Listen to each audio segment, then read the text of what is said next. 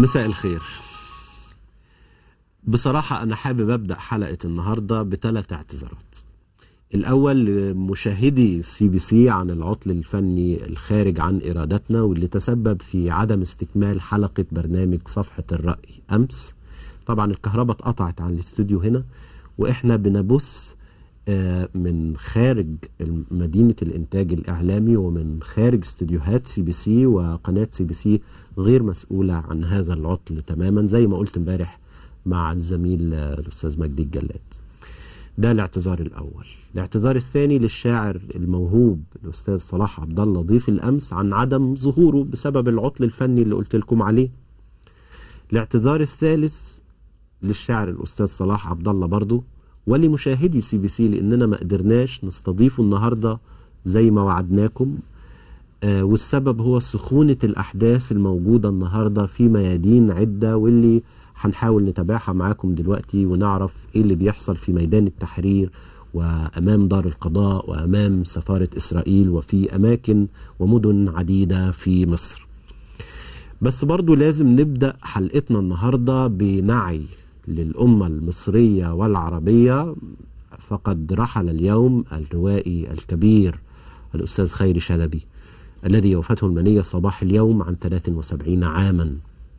وكان ذلك إثر إصابته بأزمة قلبية حادة في منزله بالقاهرة. آه، نجل الروائي الكبير السيد زين العابدين بيقول أن الراحل لم يكن يعاني من أي أمراض وكان بيستعد لكتابة مقاله. ووافته المنية. الراحل ولد في يناير سنة 1938 بكفر الشيخ بمحافظة كفر الشيخ ولم يكن له حظ في التعليم الجامعي فحصل على شهادة من معهد المعلمين وعاش حياة صعبة للغاية. عمل خلالها بائعا متجولا إلى أن اكتشفه أحد كبار الصحفيين في ذلك الوقت وعينه في إحدى الصحف القومية. كان الراحل خيري شلبي غزير الإنتاج الأدبي وزاد عدد أعماله على 75 كتاب تضم روايات وقصصا قصيرة ومسرحيات ودراسات في الأدب الشعبي وأدب الرحلات. آه، إحنا آخر لقاء للأستاذ خيري شلبي كان هنا على قناة سي بي سي من خلال برنامج الستات ما بيعرفوش يكتبوا مع الزميلات آه، مفيدة ومنى والأستاذة أميرة. نشوف جزء من اللقاء دوت.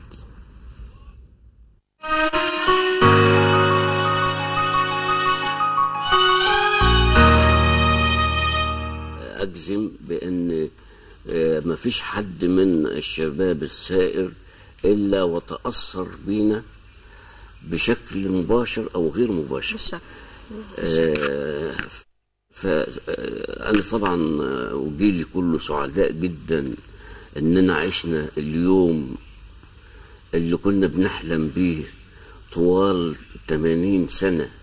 ربنا يديك طول إن العمر ال- ال- ال- ال- ال- مصر اللي إحنا كدنا نفقد الامل في شعبها فجأة تنتفض بهذه الروح الوثابة وتحقق هذا الانتصار السلمي وتسقط نظام وتخلع رئيس لم يكن من الممكن على الإطلاق أن يعني تتعتعه الدبابات.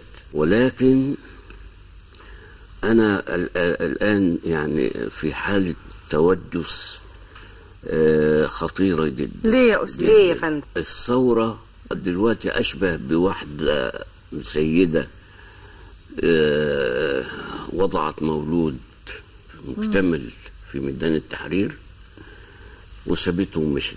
فخدوه ناس تانيين ربوه إننا ننفق على الأدب من قوت أولادنا.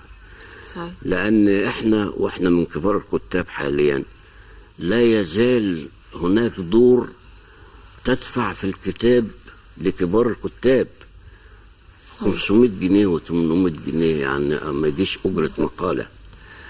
لكننا يعني آه، راضون بهذا ال ال ال لأن الهدف هو أن يصدر الكتاب. فإحنا قضينا عمرنا نكتب بالمجان. إن في. دور نشر. في دور نشر كتير. بالظبط. آه، إن يبقى يعني دور كثيرة بتتعامل معانا بأسلوب أرقى. لكن جت في نهاية العمر.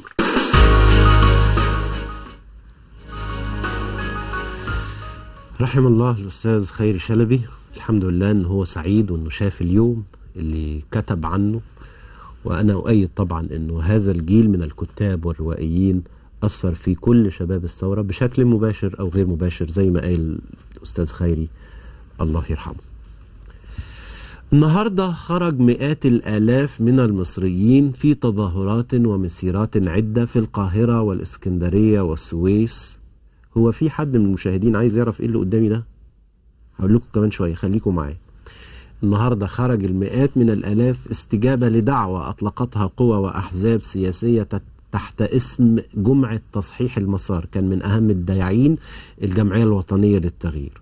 وكان من أهم المقاطعين الإخوان والسلفيين والمفروض كمان حزب الوفد كان من المتقاطعين.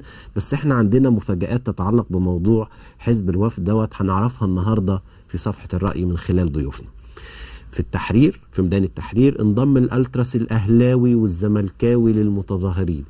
طبعا ده احتجاجا على المصادمات اللي وقعت بينهم وبين الأمن بعد مباراة الأهلي الأخيرة في الكاس.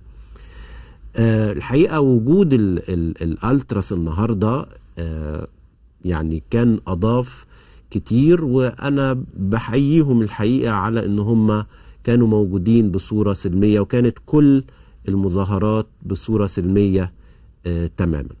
كمان أمام دار القضاء العالي تظاهر المئات وتوجهت مسيرة ضخمة من التحرير إلى مكتب النائب العام الملاصق لدار القضاء للمطالبة بتطهير القضاء وبإقالة النائب العام. مرت تظاهرة كبيرة خرجت من أمام مسجد الاستقامة من أمام السفارتين الإسرائيلية والسعودية وهتف المتظاهرون ضد مواقف البلدين. أما أمام السفارة الإسرائيلية فقد نجح آلاف الشباب المصريين بعد عصر اليوم في هدم السور الخرساني اللي اتبنى أمام مبنى السفارة ونفذوا وعدهم بالتوجه إلى هناك ضمن فعاليات جمعة تصحيح المسار وهدوا السور بالشواكيش. الحقيقة إحنا آه، مبنى السفارة يقع جنب ال- الاستوديو اللي, اللي إحنا بنصور فيه الاستوديو اللي قطعت عنه الكهرباء امبارح.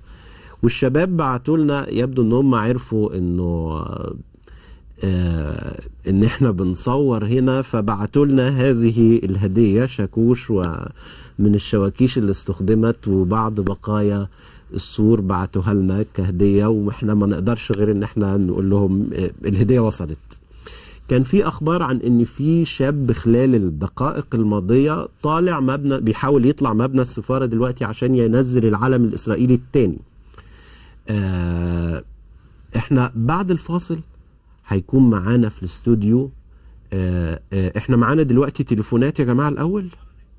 آه معانا ال- الناشطة ال- المعروفة الأستاذة نوارة نجم. مساء الخير يا نوارة. مساء الفل يا أستاذ عبد الرحمن عامل إيه؟ قولي لي انت عاملة إيه النهارده؟ زغروطه حلوة رنت في بيتنا.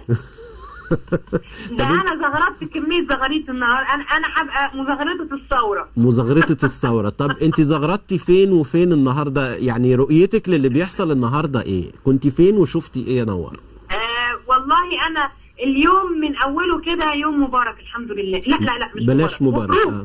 يوم مبروك. يوم مبروك الحمد لله.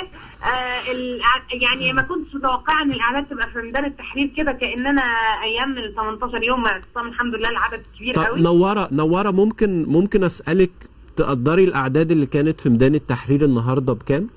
آه والله أنا مش عايزة أقدر عشان خاطر ما لكن هو حضرتك لو بصيت من فوق هتلاقيها عاملة زي أيام ال عاملة زي اعتصام ال 18 يوم. يعني أنا أنا كنت في الميدان النهاردة ولغاية مثلا أذان العصر كان العدد أكيد فوق ال 150 ألف مثلا. أيوه معاك. أيوه. أيوه معلش الدنيا زحمة ولا ولا يهمك. أيوه سمعت معاك طيب معاك. شفتي إيه النهاردة في الميدان و... و... وهل اتحركتي؟ والله أنا شفت الألتراس داخلين. أه الجو كان حلو جدا كعادة آه، ال ال الحاجات المبروكة يعني الأيام المبروكة الجميلة. و وبعدين الألتراس بوم الألتراس عظام. إن شاء الله نصلي في القدس معاهم بإذن الله. إن شاء و... الله وراحوا الداخلية. آه و... وبعدين أنا بقى ما كنتش عارفة إن هم رايحين السفارة. أنا فوجئت لقيت الناس بتقول لي بيهدوا السور في السفارة. السور اتهد السور اتهد كله. إبراهيم الهضيبي بيقول لي في حاجة أنا كنت عند دار القضاء العالي وإبراهيم بيقول لي في حاجة في السفاره ما تتفوتش أنا رايح. بيهدوا السور. فروحنا مع مع بعض لقينا السور بقى بيتهد قعدت ازغرط ازغرط ازغرط لحد ما زوري آه، طلع من من وداني ما بقتش مصدقة نفسي. والسور بيتهد يعني بطريقة سلسة و, و ومرحة. ولا كأن أنا مش فاكرة كانوا بانيينه من ورق ولا بقى ده العزم العزم. والبركة. طيب خير إن شاء الله. شكرا ليكي يا نوارة على المداخلة ديت و آه، نكون تكوني معانا دايما في في صفحة الرأي بإذن الله. إحنا معانا تليفون تاني يا جماعة؟ ما معناش. معانا حسام عبد اللطيف من اسكندرية. من اسكندرية؟ من أمام دار القضاء مع العالي أستاذ حسام عبد اللطيف الناشط السياسي أهلا بيك يا أستاذ حسام. أهلا أستاذ عبد الرحمن. آه، ممكن توصف لنا الأجواء عندك إيه يا أستاذ حسام؟ هي ال- الوقفة الاحتجاجية بدأت من حوالي الساعة 5 هي دلوقتي ما بقتش آه، آه، يعني خفت أعداد المتواجدين لكن هي بلغت ذروتها في حوالي الساعة 7 وصل الأعداد لحوالي من 7000 ل 10000 آه، مشارك في الوقفه وكانوا آه، مطالبهم المساندة مشروع المستشار أحمد مكي في استقلال القضاء ودعمه ودعم القضاة اللي بتطالب بتأييد هذا المشروع في الجمعية العمومية.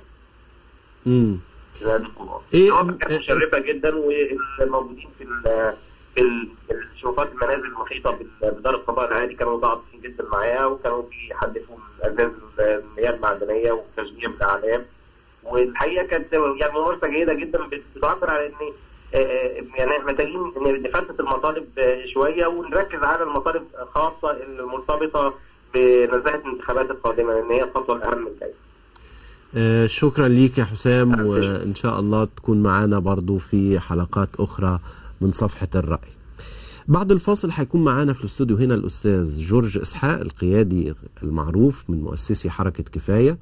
ومعانا أيضا آه، الأستاذ عصام شيحة عضو الهيئة العليا العليا لحزب الوفد للتعليق على أحداث النهارده. خليكم معانا وإن شاء الله النور مش هيقطعكم.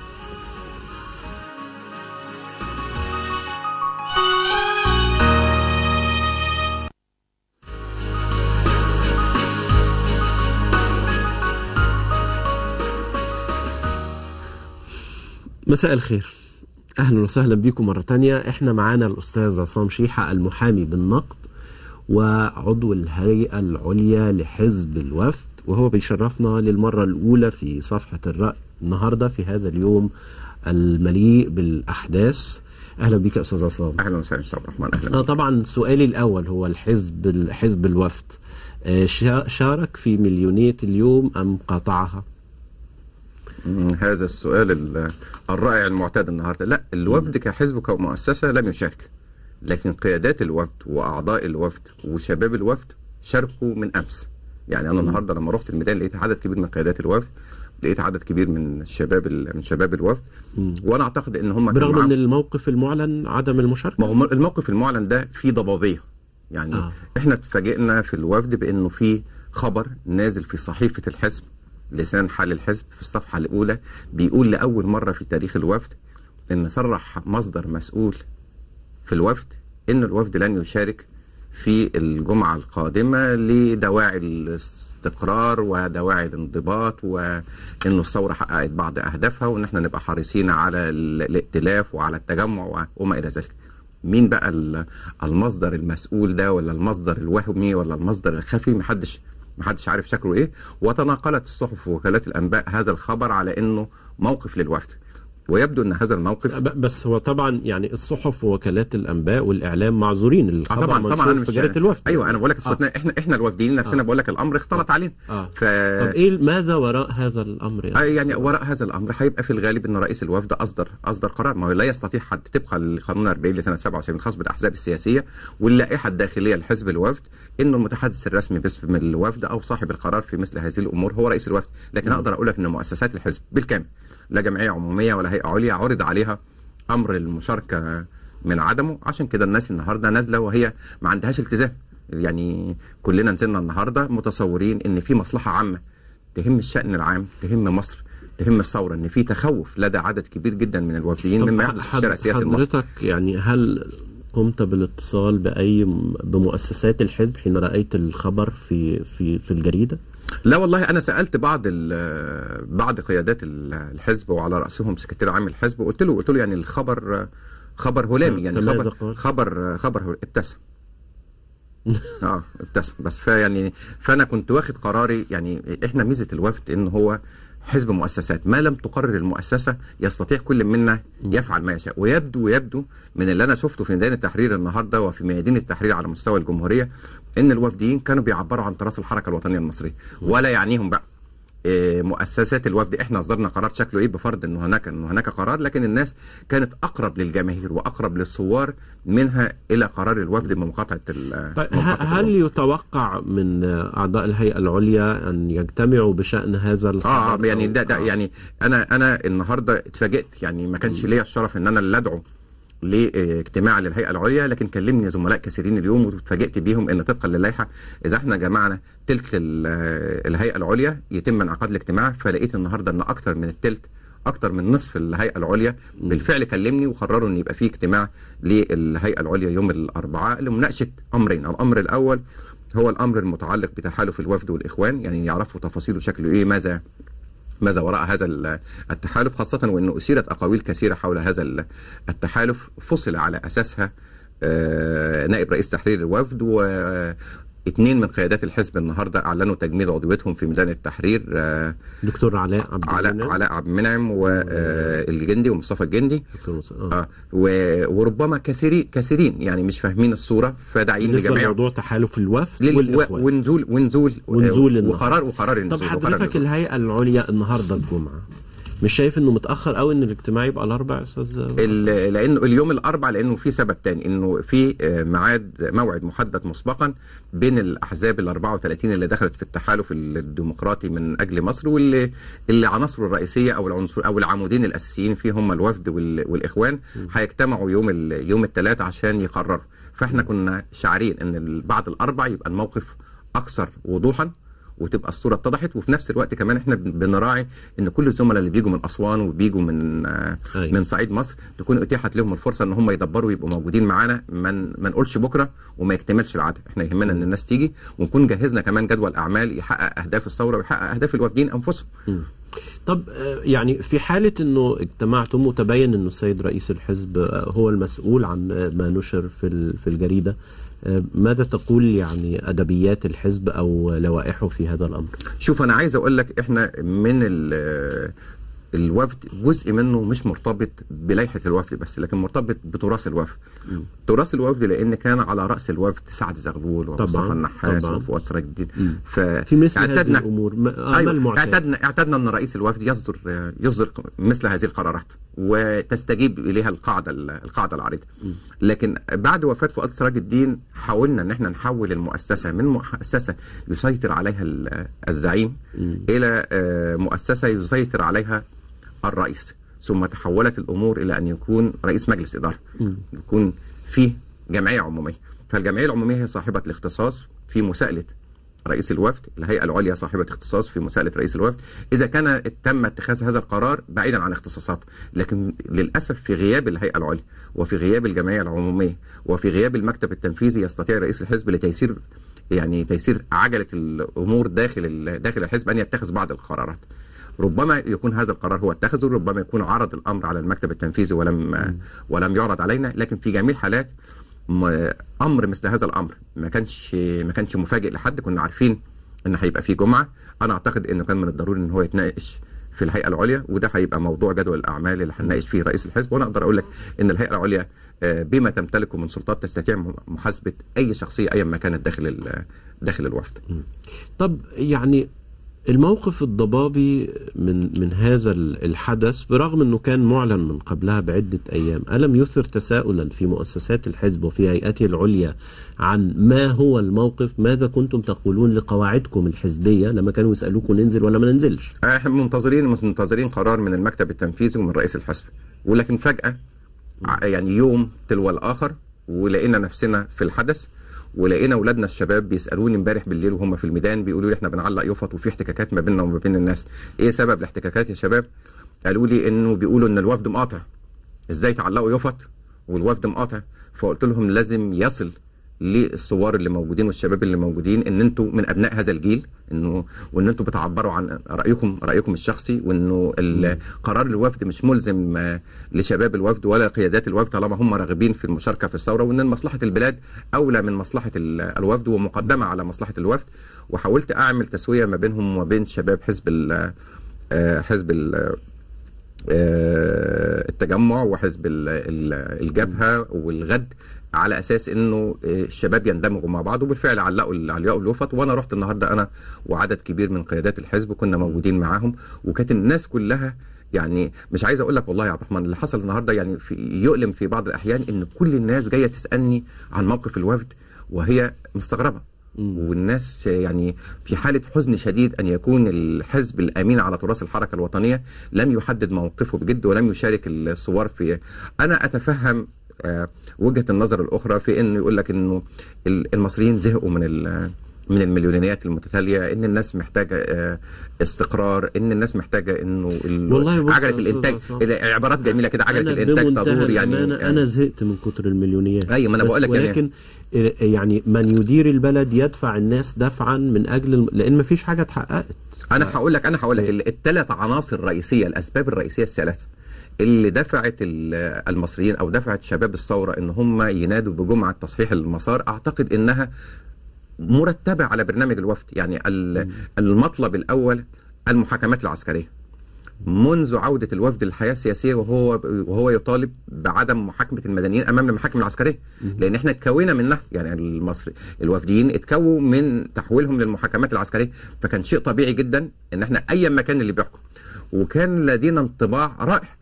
إنه الثورة اللي قامت ارتضت إن خصومها خصومها يحاكموا قاضيهم يحاكموا أمام. القاضي الطبيعي فكيف ترد يعني فكيف يحاكم كيف الثوار؟ يحاكم الثوار أنفسهم يعني أنا أنا بصراحة يعني الأمر الطبيعي المعتاد في كل ثورات الدنيا إنك تحاكم الأنظمة الفاسدة. استثنائية. آه تعمل فيها إجراءات وتحاكمهم أمام محاكم استثنائيه فإحنا شفنا حتى ثورة 52 عملت محكمة الغدر وعملت يعني محكمة الثورة وحكمت قيادات يعني ربما ثبت بعد كده إنها قيادات وطنية لكن عملت محاكمات استثنائية.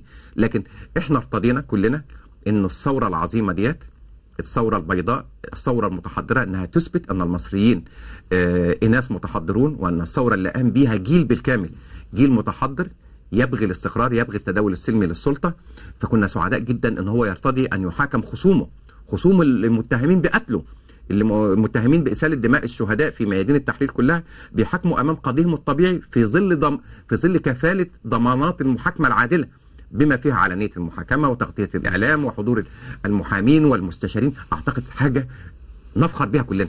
على الجانب الآخر تتفاجئ بأنه شباب الثوار اللي بعضهم صغار لسه اللي ما عندهمش بعض ال- الخبرات الكافية اللي بيصوروا ثوره طبيعية. ولولا أقدر أقول لك بأمانة شديدة يعني وأنا لن أخجل إن أقول الكلام ده إنه لولا جرأتهم أنا بشتغل بنشتغل بالعمل العام بقالي 32 سنة لكن عمره ما جه في دماغنا إن إحنا نعمل ثوره حتى لما كنت موجود داخل الميدان يوم 25 كان كل آمالي إني يستجيب الرئيس السابق إنه يعدل أربع مواد في في الدستور ويلغي الماده 179 ولما تأزمت الأمور كان كل طموحاتي إنه يعزل وزير الداخلية.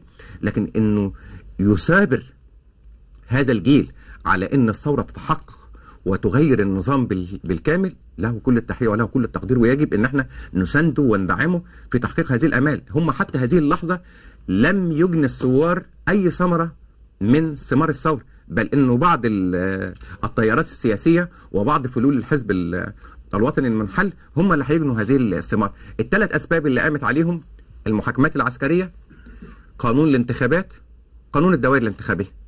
وواضح قوي إن الوفد ضد المحاكمات العسكرية.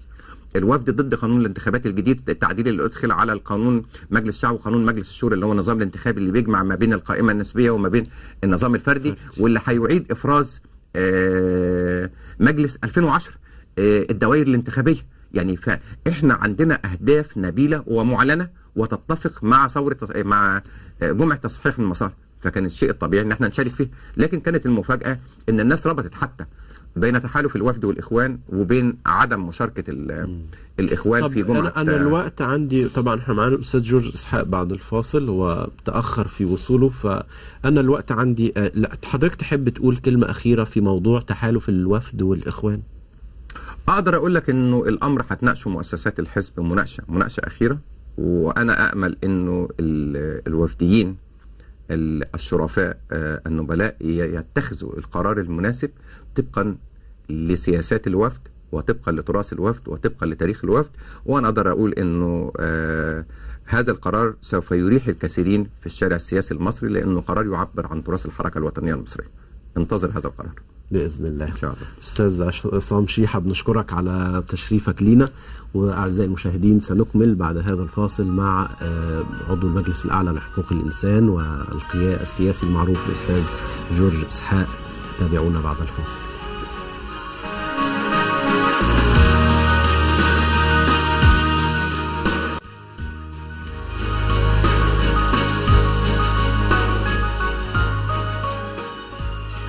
أهلا وسهلا بيكم مرة تانية ومعانا دلوقتي الأستاذ جورج إسحاق السياسي المعروف وعضو المجلس الأعلى لحقوق الإنسان. أهلا بيك يا أستاذ جورج. أهلا يا أستاذ عبد حضرتك بتمثل التيار السلفي النهارده؟ لا خالص لا خالص. أمال إيه الدقن دي؟ لا دي بس كده camouflage للتمويه أستاذ يعني جورج أهلا بيك معانا للمرة الأولى. في صفحة الرأي. ربنا يخليك. وأحب آه، تقول لي رأيك في اللي حصل النهارده كله. بص يا عبد الرحمن أنا دايما أقول مصر دي ليها كرامات. كويس؟ وعايز أقول حاجة تانية إن الرمح انكسر وانطلقنا. الحاجة الثالثه النصر بمن حضر. هذا اليوم يوم تاريخي. هذا اليوم لن يتكرر في تاريخ. يعني كل يوم مصر بتورينا كرامات ملهاش أول ولا آخر. بس للأسف الشديد إنه كل ما بتفرح وكل ما بتاع يطلع لك شوية حاجات كده خايبة ملهاش أي معنى.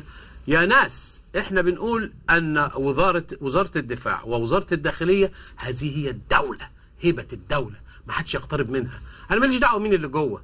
لكن أنا بتكلم عن الرمز هذه الدولة ونحن مصرين على الحفاظ على هيبة الدولة.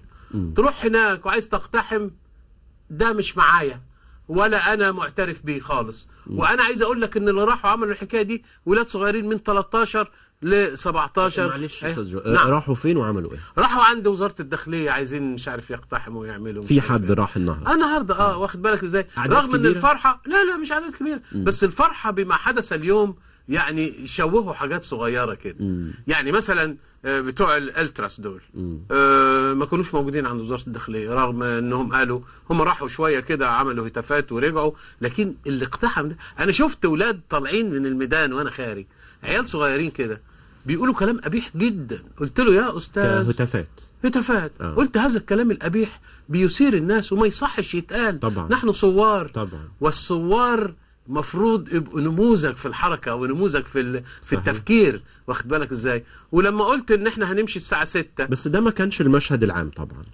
أنا المشهد بتكلم العام أصل الناس منضبط. أصل الناس واخد بالك إزاي؟ ما بتشوفش غير الجزء السلبي. فأنا بتكلم في الجزء السلبي الأول عشان يستريحوا ها؟ وإن كل الثورات يا عبد الرحمن ما أنت عارف إن طبعاً. كل الثورات فيها طبعاً. ثغرات وفيها ناس تخرج عن النطاق وفيها إحنا في مرحلة انتقالية خطيرة جدا. لكن المشهد النهارده بقى كان مشهد رائع. المشهد قدام دار القضاء العالي مشهد رائع. هذا يوم تاريخي في تاريخ المصريين. تظاهرات سلمية. سلمية ومحترمة وأعداد كبيرة ومحدش يعني وأنا قلت في أول البداية النصر بمن حضر. يعني تيجي ما تجيش دي مش قضيتي خالص. مش ه... مش هتكلم فيها. أستاذ جورج، لا أستاذ نعم. نعم. حضرتك النهارده آه آه، مش عايز أقول تحكم مفيش حد بيحكم البلد نظريا يعني. أنت تدير البلد. وحدث هذا اليوم الذي وصفته بالعظيم. ما هي القرارات التي ستتخذها استجابة للشارع؟ ما أنا قلت لحضرتك إحنا دلوقتي لينا مطالب محددة. اللي هي إيه؟ بنتكلم على القايمة ال- النسبية المغلقة ها؟ آه دي اولا. ثانيا القائمة النسبية المطلقة وإلا.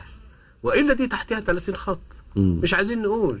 يعني ما تمتش القائمه النسبية المطلقة هنا هناخد إجراء. بس أنا مش من مش في حل إن أنا أقول إيه هو الإجراء ولا أنا بمثل يعني يعني تيارات كتير أنا بمثل نفسي أنا. ولذلك إحنا بنقول هذه من المطلبين. المطلب الثالث إنه ما يصحش إنه آه، يقدم المدنيين أمام محاكم عسكرية. طب. هذا لا يليق. يعني آه، آه، مايكل مايكل نبيل. أنا عارف إنه أخطأ. أنا أنا أنا معترف إنه طبعاً. كويس؟ بس شاب صغير ما ياخدش ثلاث سنين. الواد ده عامل اضراب عن الطعام لغاية دلوقتي وما حدش سائل فيه. هذا لا يليق. ما آه، آه، آه، في في أولاد اخطاوا وأفرج عنهم. يعني اعتبروا ده بس ما ياخدش ثلاث سنين. يعني ضروري لأن هو اتحاكم أمام محاكم عسكريه وإحنا بنقول السياسيين وال- والنشطاء آه، ما يتحكموش قدام محاكم عسكرية. نمرة ثلاثة إن إحنا عايزين نعيد النظر في الدوائر. المصيبة اللي نزلت علينا دي. دي حاجة يعني مثلا أنت لما تيجي تتكلم عن الدوائر يا عبد الرحمن تقول إن مثلا محافظة الغربية دايرتين؟ مين يجيب الدايرتين دول؟ ده أنت لما يعني أنا لو أوريك إحصائية. في دايرة منهم 46 قرية. يعني يعني ال 46 قرية قرية دول. هيبقى ممس يعني اللي عايزين يرشحوا نفسهم ضدهم 100 واحد. فلما نخش الأوضة الصغيرة دي فهيبقى في 100 مندوب. إلى جانب الناس اللي هتراقب الانتخابات. إلى جانب القاضي اللي بيشرف. إلى جانب مش عارف إيه. وقال يخش الراجل الغلبان ده في يوم واحد يحط رأيه في أربع صناديق. اتنين شورى واتنين. إيه هو ده؟ لمصلحة مين ده؟ أنت عامل مقدم كل القوى السياسية. إسلاميين وشيوعيين واشتراكيين وديمقراطيين وليبراليين. قدمنا مشروع انتخاب كده. مشروع موحد. مشروع موحد. كل وماضيين عليه. وماضيين عليه كلنا. قدم التصور للانتخابات. كلنا. قدمناه للسيد رئيس مجلس الوزراء وقدمناه للمجلس العسكري. ها؟ فيكون النتيجه ورفض. ورفض. ده ده ما يستفزش الناس. نحن أصحاب الثورة. إحنا اللي عملنا الثورة دي بتاعتنا والبلد دي بتاعتنا. وعندما يتكلم الشعب يجب أن يستمع الآخرين. ومحدش يقول لي بقى الثورة اتسرقت ولا كده ولا بتاع. الثورة إحنا ماسكينها بإيدينا كده. كويس؟ والثوار لا يحبطون ابدا. إحنا مستمرين في نضالنا. ما تحققش ده واقفين الجمعة الجاية. ما تحققش ده واقفين الجمعة اللي بعديها. ولذلك أنا بقول لأولادي ما فيش اعتصام. اعتصام إيه؟ أنا أنا يعني يعني ضد هذا الاعتصام لأن إحنا اتفقنا إن الساعة 6 هنمشي. فكان المفروض الناس تمشي. لكن في ناس اتحركت بشكل مختلف. أنا لست وصيا على أحد. أنا أنا كل اللي أقدر أعمله إن أنا أنصح الناس وأقول لهم آه، ما يصحش كده ويصح كده. ولكن ما فيش حد واصي على حد دلوقتي خالص. ولكن أنت من حقك إنك أنت يعني راجل كبير وهم بيستمعوا لك وكده وبتاع إنك تقول وجهة نظرك. فالنهاردة كان يوم هايل. من ضمن المطالب الأخرى الأمن. الأمن. يعني لا يمكن ابدا نستمر في هذا الانفلات الأمني والناس عمالة تتبسط وتضحك و... و... و... والمشكلة في الشارع. يا راجل ده إحنا الساعة 8 ما فيش راجل مرور في الشارع. هل هذا يليق؟ ينفع؟ الحاجة الثالثه إنه نحن نحن في حالة اشتياق شديد ولذلك إحنا رحنا عند دار القضاء العالي أن نكون هناك سلطة قضائية مستقلة. العدالة ها؟ العدالة مسألة و- وأنا كنت بضرب مثل النهارده إنه الم- الفرع المصري الفرع الف... أيام الفراعنة كان لما يموت أول واحد يحاسبه يقول له هل هل حققت العدالة على الأرض؟ هل حققت العدل على الأرض؟ العدالة لأن لما تحصل استقلال القضاء يبقى في عدالة. آخر حائط الصد الصد للمصريين هيروح فين؟ هيروح للقضاء. ولذلك إحنا ضد القضاة اللي, اللي عليهم شوائب. إحنا عايزين سلطة قضائية مطلقة. إحنا عايزين ميزانية مطلقة للقضاة إحنا عايزين ال- المشروع اللي بيتقدم اللي مقدمه الدكتور ال- المستشار أحمد مكي والمستشار آه، حسام الغرياني أنا طبعا رحنا أيدناهم تأييدا كاملا النهارده بس المستشار حسام الغرياني قال نقطة مهمة جدا. قال هذا القانون سوف يطرح على كل قضاة مصر وعندما يتفقوا عليه هنقول إن إحنا هنطبق ده. لو طبقنا أو لو نجحنا أو لو نجح القضاة في إنهم يعملوا آه، استقلال القضاء الثورة بتحقق أول انجازاتها لأن القضاء ده مهم جدا. الحاجة الثانية تطهير الدواوين. الله. ده دكتور عصام قال لك هننزل قوائم وبتاع وإحنا قاعدين مستنيين القوائم. وأنا ضربت له مثل ك... أمثلة كثيرة على الفساد اللي في الدواوين. ها؟ مجلس الشعب أهو موجود وفي فساد ما حصلش. وقلنا هذا الكلام. فين الد- بتاع- الحاجة ال- ال- المهمة برضو أيضا. بنطالب بتصويت ال- المصريين في الخارج. الله دول الناس ليهم حق التصويت هو في احتمال إنه المصريين في الخارج ما يصوتوش في الانتخابات دي؟ آه قالوا له قال قالوا لو المصريين في الخارج عايزين يصوتوا يركبوا الطيارة يجوا يصوتوا ويرجعوا تاني. هم بقوا جوه ما بقوش بره مش عارف إيه. كده بقوا في يعني مش الداخل. معقول. الحاجة النقطة المهمة عبد الرحمن قوي قوي بقى اللي إحنا كلنا ضروري نكافح فيها العدالة الاجتماعية. ناس عايزة تاكل وعايزة تشرب وعايزة تسكن وعايزة تتعلم وعايزة تشتغل دي مساله ضروري تبقى في الأولويات. كل هذه الأمور من مطالب اليوم. مطالب اليوم النهارده كانت مطالب آه، معقولة و- و- واسأل أي حد ها؟ طب- وعايز أأكد برضه تاني تاني مرة. بمن حضر. النصر لمن حضر ها؟ طب أنا دلوقتي يعني شايف إن الطلبات اللي حضرتك قلتها هي مطالب لكل المصريين. طبعا طب أمال اللي ما نزلوش ما نزلوش ليه؟ ده سؤال بقى. أنا النهارده سألت قلت ليه ما نزلتوش؟ رغم إن ال- المرشد بس أنا يعني أنا بتكلم دلوقتي على حزب سياسي. بس المرشد قال كده. قال قال نحن ما عندناش اختلاف على كل ال- اللي اتقال. طب الله طب ما نزلتش ليه؟ أنا ليا عتاب شديد عليهم جدا. على واخد؟ بالك؟ على الإخوان المسلمين. آه. لأنه و و والإسلاميين اللي ما نزلوش ليه؟ ما نزلوش ليه؟ وأنا دعيتهم لاجتماع. كان معايا ما حدش يقول لي ما نسقناش. لأن أنا كان معايا المهندس سعد الحسيني قلت له مهندس سعد إحنا إحنا إحنا بكرة عندنا اجتماع في الغد كذا كذا عشان ننظم المظاهره وبلغته هذا. كويس؟ ف آه، العمل الوطني يا عبد الرحمن ما حدش يدعى إليه. العمل الوطني الناس تروح وتشارك وتعمل ها؟ إحنا شاركنا مع بعض وعشنا مع بعض فترة طويلة ما ينفعش الطريقة دي.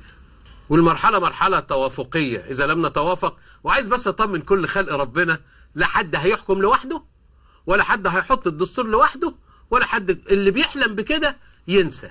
لأن إحنا في مرحلة توافقية وفي مرحلة انتقالية ضروري كلنا نتوافق.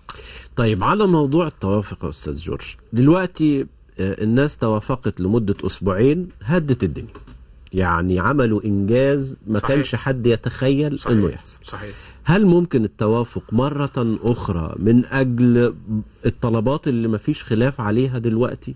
طبعا. يعني إحنا هنصر على هذا إزاي آليات التوافق؟ آليات لأن التوافق. في خلاف قلت لحضرتك وأنا قلت لحضرتك القائمة وإلا. ها؟ القائمة وإلا دي تحتمل احتمالات كثيرة جدا ها؟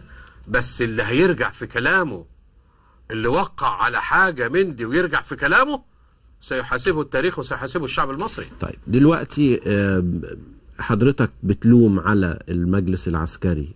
إن هو أصدر قوانين قانون الانتخابات وقانون قانون الدوائر طبعا. بتلوم عليه إن هو طبعا. أصدره بهذا الشكل ولا طبعا. بتلوم عليه إن هو أصدره بدون أن يستشير القوى الوطنية بص يا عبد الرحمن أنت دلوقتي في أول اجتماع للحوار الوطني اجى الدكتور عصام شرف وقال إن لن تصدر قوانين إلا بالحوار الشعبي والحوار مع القوى الوطنية. وبعدين فوجئنا. وبعدين فوجئنا بحاجات بتنزل سابقة التجهيز تنزل على دماغك كده. وبعدين تسأله ليه عملت كده يا أستاذ؟ يقول لك أصل بتاع المحكمة الدستورية هت هتعترض عليه. طب سألت مين يا أستاذ في البتاع؟ يقول لك أفراد. طب أنا ما عنديش ثقة في الأفراد دول. وما عنديش ثقة في المستشارين المحامين بتوعهم. اللي بيستشيروهم القانون ده أنا ما عنديش ثقة فيهم. عايزين نعمل حوار محترم. أ- أ- مش هو بيقول لك المحكمة الدستورية هتعترض؟ طب إحنا عندنا محامين وعندنا قانونيين يقدروا يطلعوا من هذا ال- المطب ويقولوا وعندهم رأيهم. ردود. عندهم ردود طبعا عندنا ردود كلنا. شوف العند في الحاجات دي ما ينفعش. العند في الحاجات دي إحنا كلنا لما نتفق على شيء إحنا أصحاب الثورة يا أخي. إحنا اللي عملنا الثورة دي مش حد تاني. وطلبنا الجيش إنه يحمي هذه الثورة وهذا موقف مقدر وعظيم ومحدش يقدر ابدا ينكر هذا الدور. ولهم كل الاحترام. بس المجلس العسكري النهارده بقى بيلعب سياسة. أنا كسياسي من حقي أعترض عليه. يعني ما حدش يقول لي أنت اتكلم مع المجلس العسكري عيب كده ما يصحش ما فيش عيب. عيب إيه؟ لا ما فيش عيب أنا راجل بنتكلم عن. المجلس مش عن الجيش أنا نفسه. بتكلم عن المجلس. المجلس بيلعب دور سياسي. وهم أصدقائي كلهم وأنا بحب عدد منهم كبير جدا وبحترم وقدره ضروري يسمع لي أيضا. يعني هو حب من طرف واحد. ضروري يبقى الحب من طرفين. عبد الرحمن زيك كده. بس يمكن أنت مسيحي يا أستاذ جورج ما ينفعش يسمعوك. لا أنا مصري. ومحدش يجيب لي السيرة دي وأنا عايز أقول لي يا عبد الرحمن اللي هيسألني في الشارع يقول لي أنت قبط ولا مسلم هاخده وأديه الاسم. أنا مصري. مصر ملك الكل. آه طبعا طبعا مفيش آه، طيب دلوقتي آه هناك آه البعض يحاول أن يلعب ويقوم ببعض الأدوار في الشارع بعض الأدوار التهييجية في بين الجماهير لإظهار آه الثورة وكأنها تراجع بالدولة إلى الخلف وكأنها هدم لمؤسسات الدولة وكأنها ثورة ليست صاحبة مشروع أو ليست صاحبة آه مطالب محددة وواضحة. عبد الرحمن أنت شفت بيان الجمعيه الوطنية؟ شفت البيان. بيان محترم و... و... بمطالب وموضوعي واضحة. ومطالب واضحة ومحددة. لما يطلع الأخوان بتوع روكسي بقى ويقول لك اللي بيعملوا الفوضى واللي بيعملوا مش عارف إيه يقولوا زي ما هم عاوزين. طب إذا من المسؤول عن الفوضى؟ المسؤول عن الفوضى هو عدم الحسم. في تراخي في اتخاذ القرارات. وما فيش تشاور كافي بين القوى السياسية. ها؟ يعني ضروري يحصل. يعني إحنا دلوقتي بنقول الانتخابات الأول ولا الدستور الأول. طب يا سيدي هنتوافق على إطار مرجعي للدستور ده يزعل حد يعني الإطار المرجعي ده اللي إحنا هنتفق عليه كلنا بيقول لك حرية الاعتقاد حرية التعبير حرية التظاهر حرية ال... حد يختلف على ده إيه الناس ب... يقول لك أصل أنت لما تعمل كده بتبقى بتلتف على الاستفتاء الاستفتاء على عيني وراسي هل هناك من يحاول تفتيت الشارع؟ آه طبعا مين؟ ألا. يا مين من مصلحته عبد القوى الوطنية؟ أنا عايزك تروح آه، الادارات المحلية والمحافظات وتشوف الموظفين اللي هناك. لم تصلهم الثورة. ولما تيجي تتكلم على الثورة يتقلب وشهم 30 لون ويعني و... و... و... يعني انت لما تيجي مثلا في اجتماع لنا واحد صاحبنا بيتبوأ منصب هناك فقلنا له والنبي يبقى اعمل توصية كده بإطلاق أسماء الشهداء على الشوارع. قال لك ده عايز قرار مش عارف إيه وبتاع إيه وعقدوا له المسألة. وكأن شهداء الثورة دول أعدائهم. الثورة ما وصلتش لناس كتير. الثورة لم تصل إلى إلى عدد كبير من الناس وخاصة في المحليات. ها؟ المحليات دي بؤر والعياذ بالله. ولذلك من ضمن المحليات اللي فضلت كام شهر لغاية ما اتلغت؟ مش بس كده ده لسه موجودين يا عبد الرحمن. كل السكرتاريا بتاع المحافظين وكل البتاع موجودين. ألا؟ ما انت هو أنت شايف إنجاز؟ ما انت المسائل مدهولة زي ما هي كده. من أهم الحاجات اللي نسيت أقولها لك إن إحنا عايزين نعمل قانون العزل. مش قانون الغدر قانون العزل. إيه هو قانون العزل؟ قانون العزل إن إحنا عايزين نعزل كل القيادات آه، بتاعه الحزب الوطني التي دمرت والتي أفسدت والذي تربحت إنه يترشح نفسه. ده ده يا راجل ده أحمد شوبير بمنتهى الجرأة والشجاعة كده قال أنا تزور لي 5000 صوت. أنا زعلان عليه والله.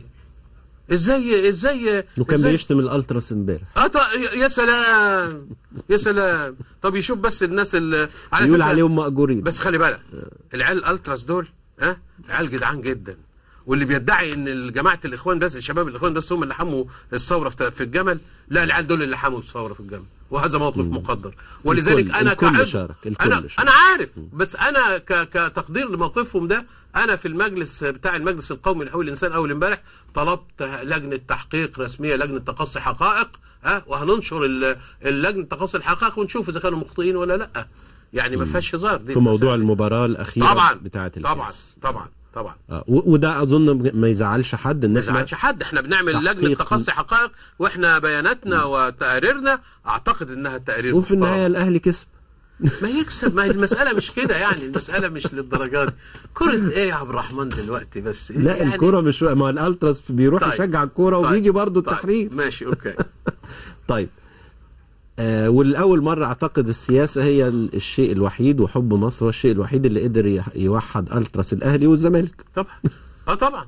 يعني يعني يعني آه، السياسة دلوقتي بقت يعني إحنا كان عندنا وفد سوداني كان في نائب رئيس الجمهورية وكان السيد النائب الثاني المسؤول وكده وبتاع.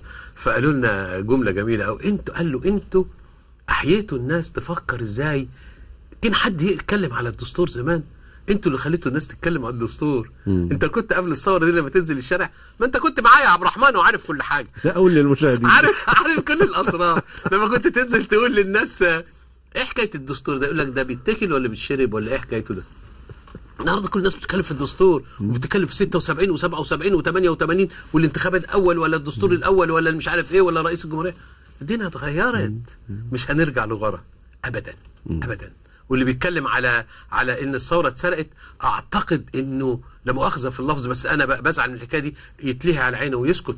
إذا مش عاجباه الحكاية يسكت ها؟ لا الثورة اتسرقت ولا إحنا محبطين ده إحنا دلوقتي منت... النهارده إحنا منتعشين جدا. هذا الإنجاز الذي تم اليوم بهذه التظاهرة والنصر بمن حضر دي مسألة يعني عاملة لي سعادة شديدة جدا. طب ليه ما اتسرقتش؟ معلش لازم لازم أحاول. في ناس بتقول إنها اتسرقت. ليه, ليه ما اتسرقتش؟ آه. النهارده. النهارده لما جت الناس وعملت هذه المطالب وراحت عند دار القضاء العالي وقالت إحنا عايزين آه، سلطة سلطة قضائية مستقلة هذا دليل إن المطالب ما زالت مطروحة والناس عندها أمل. من غير أمل هنضيع كلنا. أنا عندي أمل في المستقبل ملوش حدود. مصر يا عبد الرحمن لو الناس تصبر شوية هتشوف نهضة ثقافية واقتصادية وعلمية لم تشهدها مصر واقتصادية أيضا لم تشهدها مصر في حياتها. بس الناس تصبر كده وتهدى ونفضل نطالب ونفضل عندنا آه، رؤية وعندنا آه، حماس وعندنا آه، ثوار حقيقيين هم دول اللي هينجزوا الثورة هم دول الشباب الصغير الشباب الصغير. لو تشوف النهارده الولاد الشباب اللي كانوا واقفين وأنا عارف بتضحك قوي لما بيجيب سيره الشباب فرحان بيهم أنت قوي زي ما أنا فرحان بيهم. واخد بالك إزاي؟ فأنت لما تشوف الشباب عملوا إيه قدام دار القضاء العالي النهارده والهتاف لأحمد مكي والمستشار غورياني والهتافات ضد الآخرين حاجة تفرح القلب صراحة ربنا. هم دول مستقبل مصر. طب تقول إيه اللي ما نزلوش يا أستاذ جورج؟ بص بقى عايز أقول لك حاجة. في الانتخابات القادمة اللي بيقول لك مش عارف مين هيكسب ومين هيخسر ومين بتاع أنا براهن على حزب الكنبة اللي قاعد ده. اللي ما نزلش ده. حزب الكنبة ده عمال يتفرج ها وبيشوف مين معاه ومين حبيبه ومين آه، وعمال يفكر ويتفرج وكده. هو ده اللي هيعمل التوازن في المرحلة القادمة. ولو ما حصلش ده وبقى قابلني يقول لي أنت ما بتفهمش حاجة. هذه الكتلة التصويتية الضخمة هي اللي هتنزل هي وتحسم. اللي هتنزل وتحسن. ها؟ ولذلك أنا بطالبهم ما يقعدوش على الكنبة كتير معروف. لو قعدوا على الكنبة كتير يضيعونا. يعني اقعد على الكنبة واتفرج وما تنزلش تعمل أي حاجة بس ساعة الانتخابات بالظبط.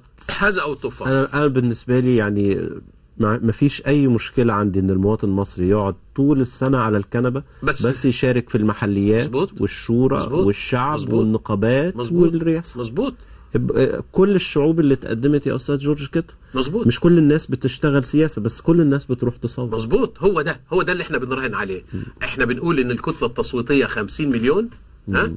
إحنا بن يعني عايزين أنا ينزل منها 40 مليون هينزل مثلاً. هينزل من 30 ل 35 مثلا ها؟ وأنا موافق على كده.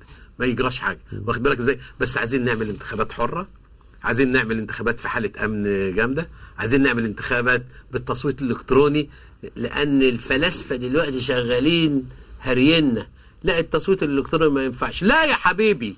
البرنامج موجود والتصويت الإلكتروني موجود والتصويت ال- المصريين في الخارج موجود والآليات موجودة الدنيا بتتقدم. العربيات بتمشي في أوروبا بالكهرباء دلوقتي وحاطين في شوارع في شوارع أوروبا ها عواميد تشحن آل البتاع كده عشان ال- ال- العربية اللي تمشي بالكهرباء. وأنت تقول لي الالكترونيات يا عبد الرحمن موريتانيا والسودان عملوا مراكز عشان أهالي اللي بره مصر اللي بره بلادهم ي... ي... في أربع شباب دلوقتي طلعوا على مبنى السفارة ونزلوا العلم تاني. الإسرائيلي للمرة الثانية طيب ده حسب ما هو منشور حاليا طيب. على بعض المواقع على الإنترنت أنا بس لو عموما لو لو أتمنى إن إحنا نتأكد من ال- إحنا لسه ف... إحنا فاضل قدامنا آه، عموما إحنا ممكن ممكن لو هم نزلوا العلم فعلا يبعتوه لنا زي الحجارة برضو اللي بعتوها لنا على ال ال البلاتو. كلمة أخيرة يا أستاذ اتفضل. كلمة أخيرة من حضرتك. والله مش عايز أسيبك يا عبد الرحمن. لمن شاء. كلمة أخيرة إيه؟ عايز أقعد معاك ساعة. الوقت الوقت. نقعد بقى نقعد بره بقى. ماشي أوكي. كلمة أخيرة لمن شارك ولمن لم يشارك وللمسؤولين عن هذا البلد. مصر آه، جاية؟ مصر ما راحتش مصر جاية مستقبلها جاي. بما إن الناس الموجودين في في مصر بالشكل ده اللي إحنا شفناهم النهارده ودايما أقول إن مصر ليها كرامات. مش هتشوف ضيم تاني ولا ظلم تاني ولا مستبدين تاني ها؟ محروسة. وإحنا محروسة محروسة. وأنا آه، من دراويش مصر المحروسة. وعشان كده عايز أقول لك إن هذه رسالة موجهة لسوريا وليبيا واليمن. و... تونس. وتونس وكل الدول والبحرين وكل الدول العربية اللي فيها مستبدين اللي خايفين دلوقتي كلهم بيرتعشوا ها وعايز أقول ان عايز عايز أقول لك خبر مهم قوي ان إن المعارضة السورية ممثلي المعارضة السورية موجودين في مصر حاليا و... وناس محترمين وأنا صحيح. شفتهم وعايزين نعمل لهم هم بيطالبوا إن إحنا نعمل لهم مظاهرة مليونية لدعم سوريا لأن بشار الأسد هذا المجرم السفاح الذي يقتل شعبه كل من قتل شعبه سقطت مشروعيته. صحيح. أعزائي المشاهدين بنشكر الأستاذ جورج إسحاق آه، عضو المجلس الأعلى لحقوق الإنسان والسياسي المعروف وبنشكركم جميعا على متابعتنا ونشوفكم بكرة إن شاء الله مع صفحة جديدة من صفحات الرأي. شكرا لكم.